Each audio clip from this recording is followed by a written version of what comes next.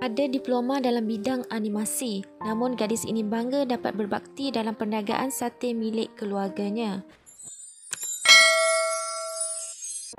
Menurut Nur Rafidah Baharudin, dia sebelum ini pernah berkhidmat sebagai pereka grafik di Kuala Lumpur dan sama sekali tidak menyesal dengan keputusannya untuk berhenti kerja dan kembali berniaga bersama keluarga di Seremban. Biarpun berat hati dan turut menerima kata-kata kurang enak, dia yang mesra disapa Ying enggan menoleh ke belakang dan percaya dengan ketentuan rezeki kurniaan Allah Subhanahu Wa Taala.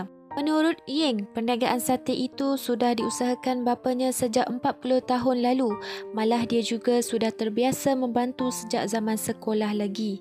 Menurut Ying lagi, pengalaman bekerja dengan ibu bapa turut memberi pengalaman berharga buatnya biarpun pernah cemburu dengan kebebasan teman-teman sebaya yang lain suatu masa dulu. Masa kecil dulu selalu juga kena ejek di sekolah. Mereka perlekeh mak ayah saya jual sate. Mereka kata kami tak kaya-kaya pun jual sate. Saya dianggap sebagai orang susah kerana berniaga sate.